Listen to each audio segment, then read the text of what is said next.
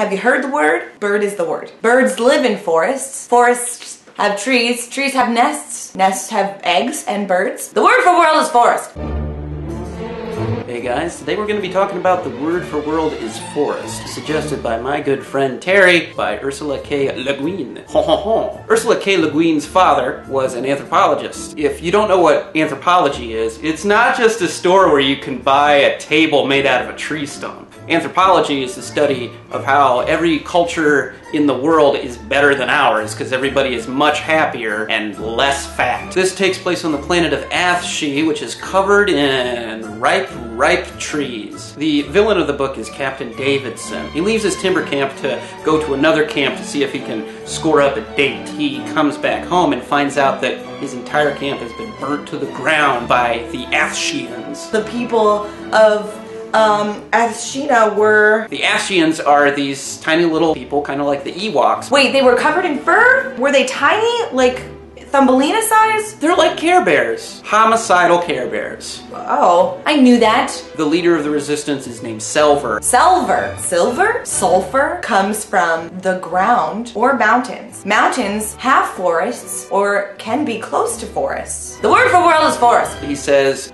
You killed my wife. I'm not a fan of that. I don't like that behavior. This is a warning. I killed all your friends. Stay away from us. Let us live in peace. And Davidson, he goes back to the main headquarters of the humans on this planet. And they're like, yeah, maybe we should let this one go. And he's like, no, no, I'm too mean and angry and hateful. I gotta go back and teach those creechies a lesson, which is a derogatory term. Very rude. Don't say it in front of any Athsheans that you might run into on the subway or in your local park. Um, according to the Wikipedia article I have up. Oh no, this is a, it's wrong. I'm reading the wrong Wikipedia article. Terry, I didn't read the book. This guy's Selver. He has a really close relationship with the anthropologist in the camp, Lyubov. Promises him, hey, we're gonna attack the headquarters. If you stay in your house, you will survive. What does Lyubov do but leave his house and does not survive? It gets cracked in the head by a building falling on him, like the Wicked Witch of the East.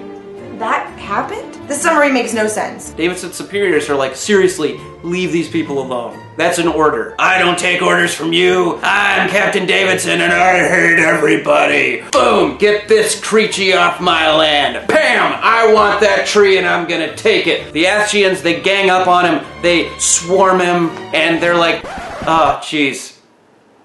I can't do this.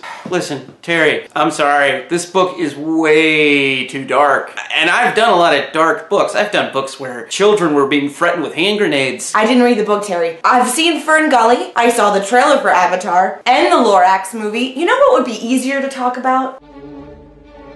The Lorax is basically the same book as the word for world is forest because it's about trees um, and there's like little guys that are defending the trees. It's got rhyming and pretty colors. Did Dr. Seuss and Ursula K. Le Guin ever meet? Prove to me they didn't. Post in the comments below if you know. The Lorax is about this guy, the Onceler. The Onceler sees these truffula trees. He's like, hey, I can make some scratch off of these. The Lorax pops out of the ground and he says, hey, don't do that. Come on. Let's just have trees and be nice to each other. You don't need to cut down all my truffula trees for your thneeds. Your thneed is basically a useless object. It, it, can be too many things. A bicycle seat, it could be a picture frame, it could be your parents if they've left you, it could be your right shoe, it could be a partner for you if you're a very lonely person who's socially awkward. Onceler chops down all these trees, makes a big factory to make all of these luxury furs. We gotta need! A what? A need! need for what? Need!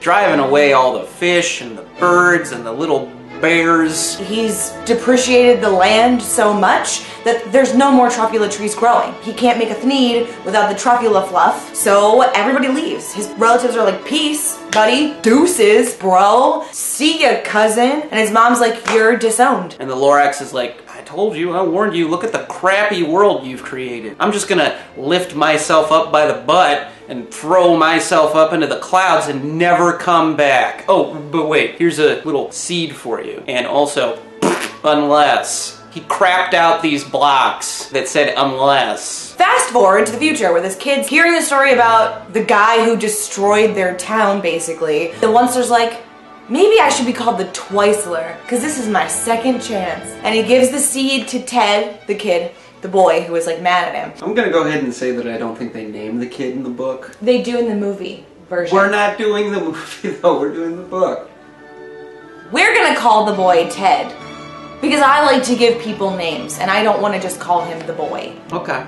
The Onceler is like, hey, unless someone cares an awful lot, things aren't gonna get better. They're not. I don't, I'm paraphrasing. Nothing's gonna get better if you keep making that sweater. Unless you go out and hug a tree, there'll be no bears for you and me. If you give a robot diabetes, he's always gonna be your sweeties. Basically, the message of these two books are essentially the same. Leave trees alone, leave little hairy guys alone, or else something terrible will happen. Either you will be stranded on a desert island with no trees around, or you'll be in a town with no trees around and also no bears or fish or birds. If we're talking about trees and we're talking about trees roots and trees roots really get in there. Guys, do you think my roots are too much? Do you think the roots in my hair are like tree roots or just distracting?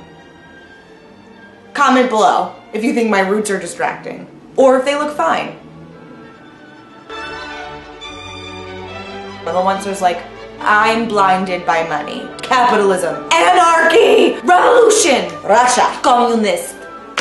In Soviet Union, Thneed wears you. oh, if only we were on stage. I know. Are you enthused or do you hate me? Guys, the one thing about Dan that makes our friendship really difficult is his happy face and his angry face are the same. So I never know if he's happy or angry at me. Um, and most of the time it's just disappointment.